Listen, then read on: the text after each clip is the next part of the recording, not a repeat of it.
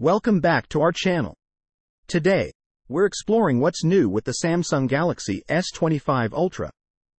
From battery tech to display and processor updates, let's get into the details. Battery breakthroughs. Starting with the battery, while we might not see a size increase beyond 5000 mAh, expect quicker charging times.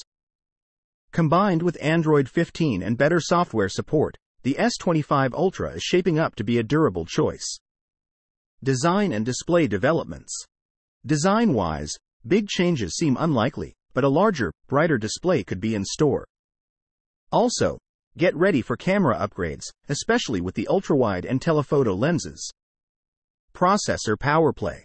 Under the hood, the Snapdragon 8 Gen 4 might power the S25 Ultra, hinting at a major performance boost. Yet, rumors of an Exynos only lineup add an intriguing twist. Exynos 2500 Insights. Speaking of Exynos, the 2500 model is reportedly outdoing Snapdragon 8 Gen 3 in graphics and speed. But, take these claims with a grain of salt, as detailed comparisons, especially in AI and efficiency, are pending. Outrow. There you have it, the latest on the Galaxy S25 Ultra. What feature are you most looking forward to? Share your thoughts below. And don't forget to like, subscribe, and hit the notification bell for more updates.